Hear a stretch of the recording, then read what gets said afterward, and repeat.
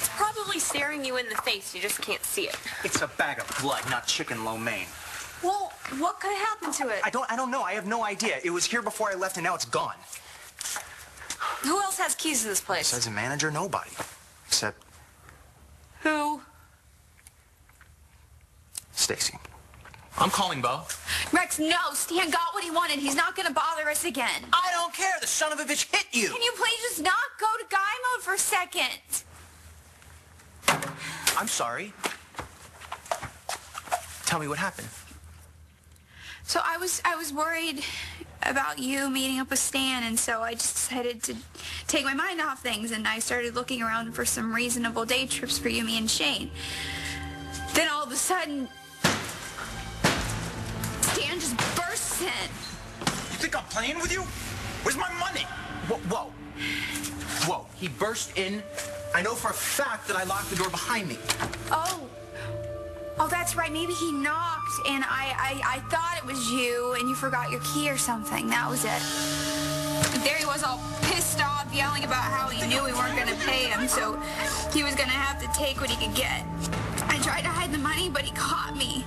And that's when he got really mad. He grabbed the bag, and I tried to fight him off, but he just pushed me down teach me a lesson. Wait a second.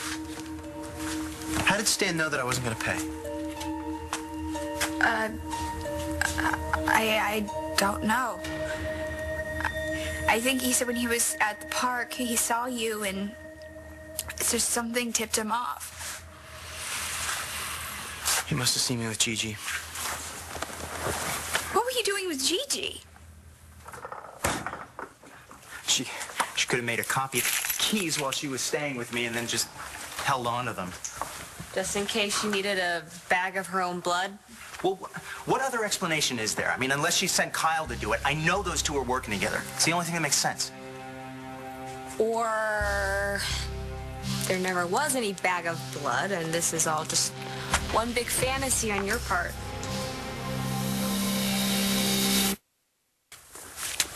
You think I'm making this up? It does sound freakish. Yeah, especially coming from a perverted, thieving drug addict like myself. Is that right? I didn't say that. No. No, you, you didn't have to. Yeah, I'm in recovery. Okay, no, it's not something I advertise. Clearly, Stacy has no problem shouting it from the rooftops. My relationship with Starr Manning was inappropriate, yes, but it wasn't because I was trying to get with her. It's because we both had things from our pasts that connected us, and I, as a teacher, exhibited poor judgment in discussing it with her. I was suspended for that. And, and you know what? I'm fine with that. But let me make something very clear, okay? It was not because anything sexual was going on at all. I've never lied about that, and I'm not lying now.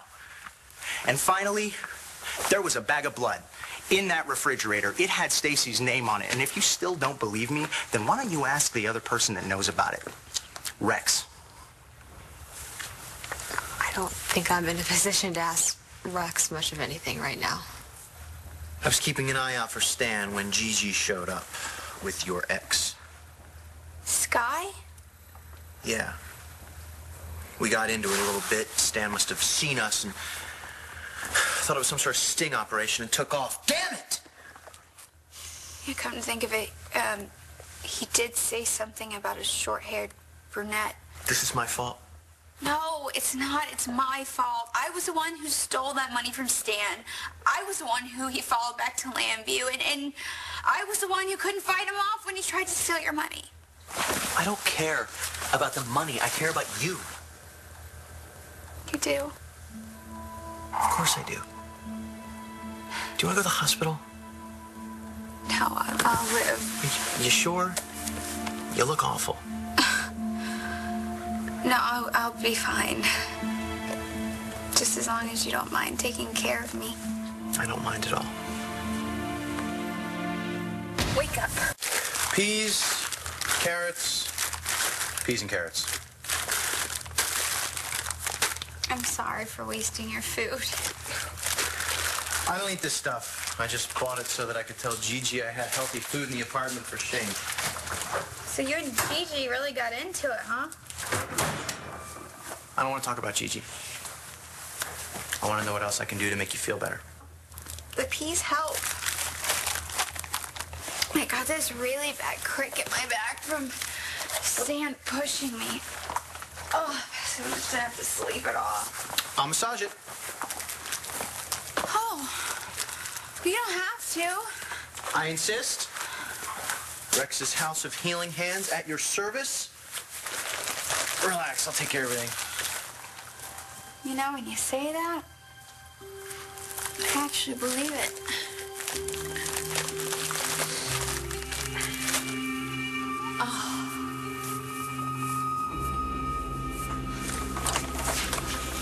So I guess we're at what they call an impasse, huh?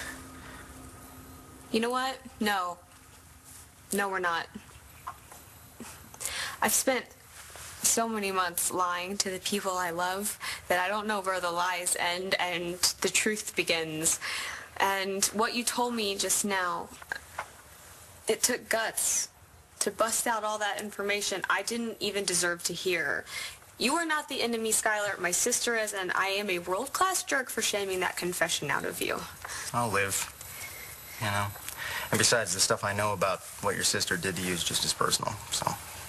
It's just I don't know how to deal with this because someone out there saved my son's life.